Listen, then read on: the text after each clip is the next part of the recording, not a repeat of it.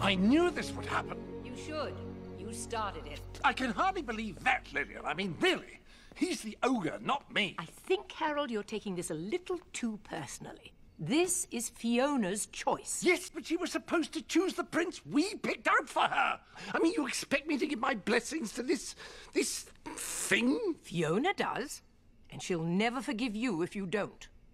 I don't want to lose our daughter again, Harold. Oh, you act as if love is totally predictable. Don't you remember when we were young and, oh, we used to walk down by the lily pond and they were in bloom? Our first kiss. It's not the same! I don't think you realize that our daughter has married a monster! Oh, stop being such a drama king. Fine, fine, pretend there's nothing wrong. La-di-da-di-da-di-da, isn't it all wonderful? Like to know how it could get any worse. Hello, Harold. Ah! What happened? Oh, no, nothing, nothing, Joe, just the old, uh, hunting wound playing up a bit. I'll, um, just stretch it out here for a while. You better get in. We need to talk. Actually, Fairy Godmother, just off to bed. Uh, already taken my pills. They tend to make me a bit drowsy. So, um, how about uh, we, we, we make this a quick visit? What? What? Oh, oh hello.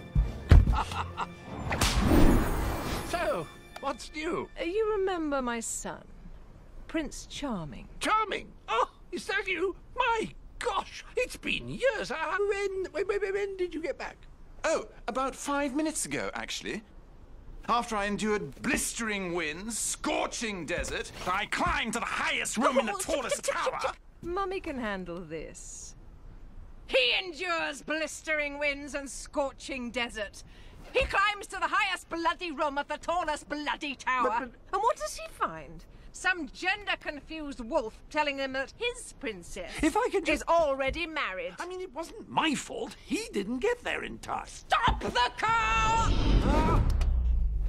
Harold, you force me to do something I really don't want to do. Where are we?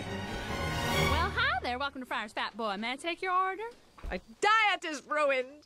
I hope you're happy. Uh, okay. Two Renaissance wraps, no mayo, chili rings. I'll have the medieval meal. Yeah, one medieval meal. And Harold, curly fries. Uh, no, no, no, thank you. Sourdough soft taco, then. What do you want? No, really, I'm fine. Your order, Fairy Godmother. And this comes with medieval meal. Here you are, dear. You see, we made a deal, Harold. And I assume you don't want me to go back on my part. Indeed not. So Fiona and Charming will be together. Yes. Oh, believe me, Harold. It's what's best. Not only for your daughter, but for your kingdom. Well, what am I supposed to do about it? Use your imagination.